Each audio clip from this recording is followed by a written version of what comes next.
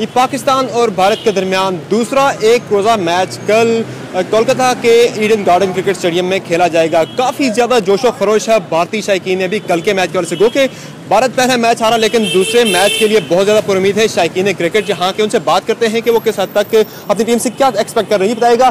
कल का जो मैच है, क्या आपकी एक्सपेक्टेशन है अपनी टीम से? कल लास्ट मैच हमारी इंडिया हार गई थी तो जिस time I think India will bounce very strongly और मेरे को लगता है कि इंडिया जीतेगी। आप बताइएगा आपकी क्या उम्मीद है आपकी टीम से? जो मैं इतना मैच नहीं देखती but still whenever India और पाकिस्तान का मैच होता है तो I think it's time for victory India will win जी आपने गुफ्तु सुनी भारतीय शायकीन की। बहुत ज़्यादा अपनी टीम से पर उम्मीद है कि टीम उनकी अच्छा परफॉर्म करेगी और कल का मैच जीत कर सीरीज़ लेवल करेगी। जी।